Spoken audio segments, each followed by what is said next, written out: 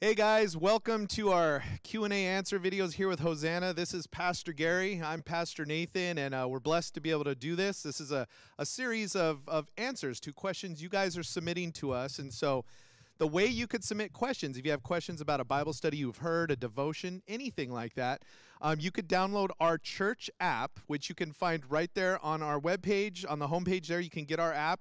We have a form there where you could submit questions to us, or you could visit our church website at www.hosannachapel.org. Again, right on the homepage there, there's a big Q&A graphic. Just go ahead and click on that, and you could submit Bible questions to us. And the both of us here and, and other pastors of Hosanna, we're going to be answering questions that, that you guys have about things. And so the first question we actually uh, have had to uh, submitted to us here comes from Luann here at Hosanna. And the question is this How long did it take Moses to perform the plagues in Egypt? Plague five was the death of all livestock. Then in the same chapter, the seventh plague of hail also killed animals in the field. Where did these animals come from? Since the livestock were killed in plague 5. And so it's actually kind of two questions, and I'm going to just tackle the first one there. You know, how long did it take Moses to perform the plagues in Egypt? Well, to be uh, direct, uh, we don't know exactly. the Bible doesn't give us a specific time frame for how long it took.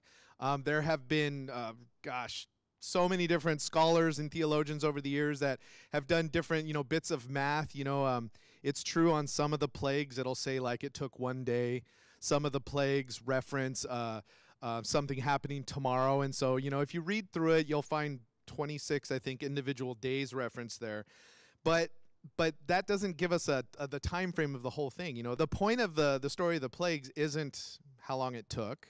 You know, Pharaoh himself, the most powerful ruler on the planet at the time, um, God is is infinitely more powerful than him, and that's what the story's all about. And so, um, things like that. Sometimes you know you look in the Bible and you go, well, the Bible doesn't say the specific detail. It's really kind of it's irrelevant to the the point of what the story's all about. And so, with that, you know, if you Google it and stuff, you'll find all kinds of different answers. Honestly, from weeks to months, and we simply don't know exactly according to the word. Hopefully, that answers that first part of the question for you. But the second part. Um, I'll read it again just to, to get back to the context. It said the, the fifth plague was the death of all the livestock. And then in the very same chapter of Exodus, chapter 9, the seventh plague of hail also killed animals in the field. So, where did these animals come from since the livestock were killed in the fifth plague? So, Pastor Gary, you want to? Well, in, in um, chapter 9, where it says, All the livestock of the Egyptians died, of the Egyptians but not one of the livestock of the people of Israel died. The term all the livestock uh, throughout the Old Testament, the, the term for all is translated differently, and it depends upon the context. Right. And without stretching it a bit, you could say only livestock. In other words, saying not how many of them, but it wasn't people right. or it wasn't, uh, you know, some other uh, enemy, let's say, out there. It was, it was. This was about the Egyptians. It was about Israel. It was about livestock, but only livestock. So yeah, yeah, it's it's there's there's a lot of times in Scripture we see that where words have the English meaning, you know how we understand them, but when you dig in, you often will find that they can mean more. But you don't have to be a Greek or a Hebrew scholar to get into that. Just look at what what it's saying, you know. And so that word all Sometimes it means all, like how we understand it, everything. Other times it means all of a type, right? And if you look there um, in Exodus chapter 9, you know, um, that whole section there in, in verse 2 of Exodus 9, you know, they, they're given the warning, right? If you refuse to let the people go, the Lord's going to bring this severe plague. Um, and then it says, against your livestock in the field, talking to the Egyptians, right? Um, now, when you look at verse 6, where it says, all the livestock died, that word all often can be translated all of a type, right? And so verse 2 it actually or verse 3 I'm sorry says uh, it actually gives us those types. It says horses, donkeys, camels, yeah. herds, flocks. So it's all of a all different kinds of livestock is what that's saying rather than saying every single livestock. And so that's one of the answers to that is when you get to the seventh plague Exactly. it's it really is the context context context right, because right. if I said we're now in Bellflower, California, and we are uh, at Hosanna Chapel, and all the lights are on. Does that mean all the lights are on in California? Well, all the lights are on in Bellflower? or all the lights are on at Hosanna? right, It depends on what's being said afterwards. Yeah. That's the only way you'd really know the context. right.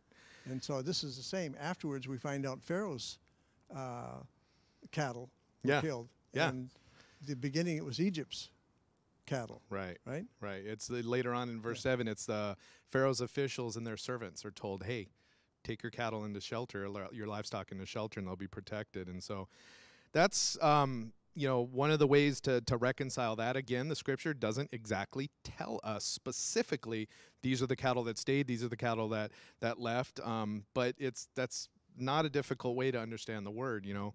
Um, one of the other answers that people have on this is if you remember back there in uh, verse 6, it said, All the Egyptian livestock died, but none among the, among the Israelite livestock died. So, plague five, all of Egyptian livestock perished, but Israel still had livestock. And I mean, we know the story of how cruel it, uh, Egypt was to the, the Israelites. So, it's not a, a, a stretch even to go think the Egyptians said, Hey, we're going to take some of your livestock because, you know, our stuff, we had a culling of our livestock. And so, by the time you get to the seventh plague, there's the livestock that the Egyptians, you know, Once have again, the is the point, the context. A miracle happened. It was called Yeah. out prophetically that judgment is happening, and Right. judgment happened. Uh, on the other hand, I love the question Yeah, Yeah. because it means uh, a good student reading and trying Right. to evaluate what's in here and why it isn't. And, absolutely. and uh, getting back to what the point is, though.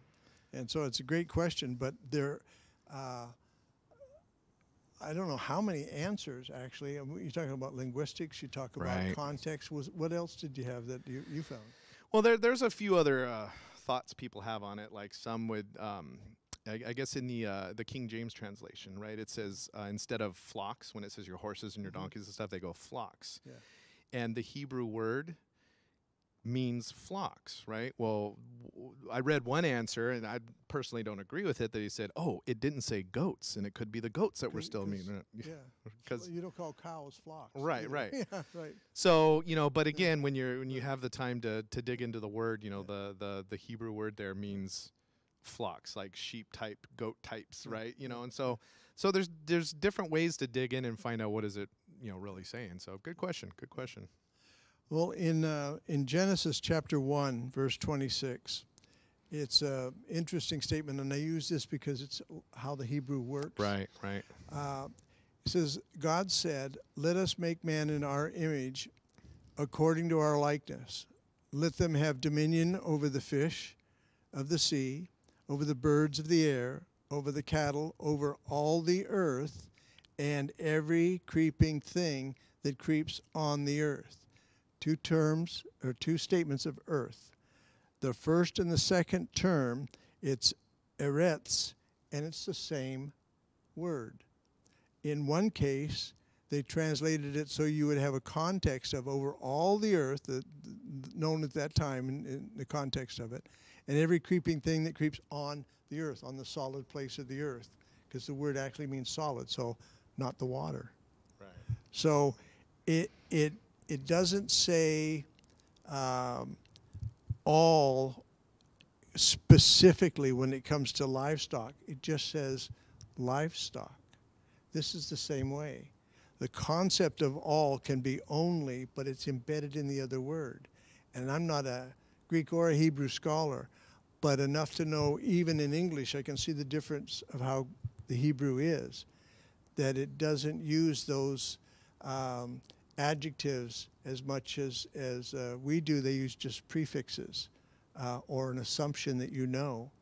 And um, um, they'll use noun after noun sometimes and put them together in the Greek, and then you have to figure out what the subject is by the context. And uh, I think Genesis is a good example of that. The word earth is exactly the same, but they took it as all the earth and then earth because it describes what was meant. And there's an assumption that you know what's meant. Right on.